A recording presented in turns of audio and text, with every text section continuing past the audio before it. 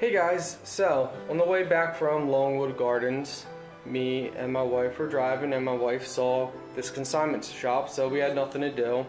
And we thought, hey, let's stop.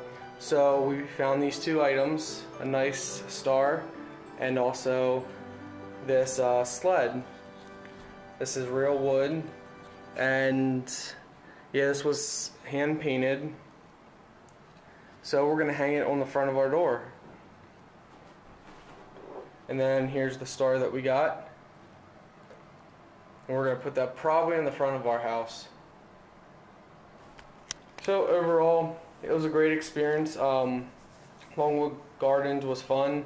We're going to go again sometime when the weather's a little warmer. But it was a lot of fun.